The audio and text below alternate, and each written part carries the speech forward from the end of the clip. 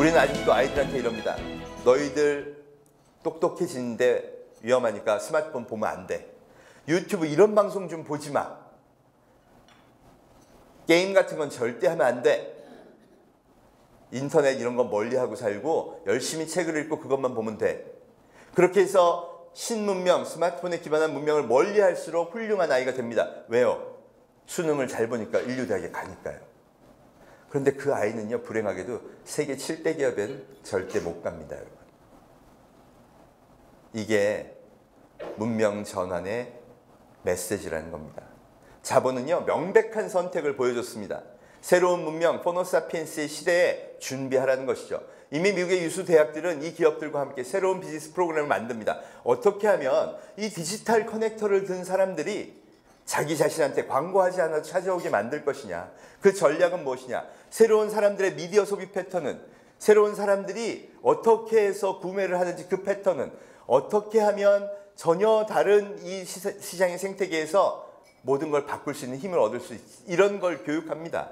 그게 신문명의 상징이 되었죠. 여러분 5천주의 자본이 모이면 저 자본은 어떤 힘을 발휘할까요? 유통을 바꿨고요. 사람들이 사는 방식을 바꿨습니다.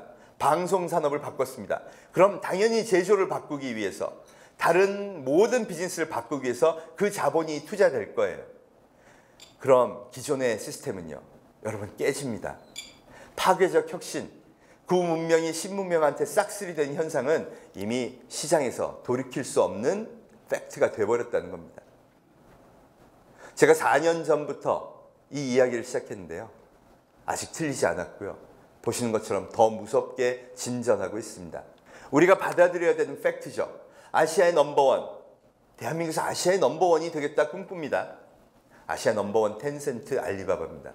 여러분, 이 두 기업 명백하게 오로지 폰을 쓰는 phono sapiens 마켓만을 위해 투자하는 기업입니다. 1원도 다른 데 투자하지 않아요. 더군다나 우리가 한, 한쪽으로는 좀 폄하해 왔던 중국의 기업들입니다. 20년을 아시아에서 넘버원이었던 도요다. 3월 2일자 기준 지금 시총은 220조입니다. 그런데 보십시오. 작년 3월 330조였던 텐센트의 주가는 지금 현재 570조입니다. 도요다 기업 가치만큼의 투자가 1년 새에 텐센트에 쏟아부어진 겁니다. 3위를 기록하고 있는 삼성전자. 작년 한때는 410조의 시총을 기록했었죠. 여러분, 저게 제조에서 보여주는 메시지입니다. 삼성전자가 성공한 분야는 스마트폰, 그리고 메모리인데요.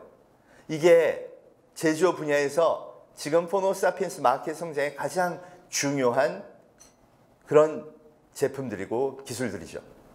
스마트폰으로 분기당 3조의 이익을 남겼습니다. 그래서 기업 가치가 150조 정도 되는 기업으로 평가를 받았죠. 나머지는 뭘까? 바로 메모리인데요. 분기당 10조의 메모리 그 이익을 어떻게 냈을까요? 세계 7대 기업이 투자하고 있는 영역을 보면 됩니다. 이미 digital life를 살기 시작한 phono sapiens들은 매일같이 자기의 행동을 터치로 남기는데요. 이 터치는 바로 데이터입니다. 그러니 세계 7대 플랫폼 아니 그 이상의 수백 수천 개의 플랫폼 기업들은요. 이 데이터를 통해 달라진 소비 행동을 파악하고 그 소비 모델을 기반으로 새로운 혁신을 위한 비즈니스 전략을 짜고 있는 겁니다. 그러니 무조건 모아야죠. 그 무조건 모으는데 필요한 게 바로 저장용, 메모리였던 겁니다.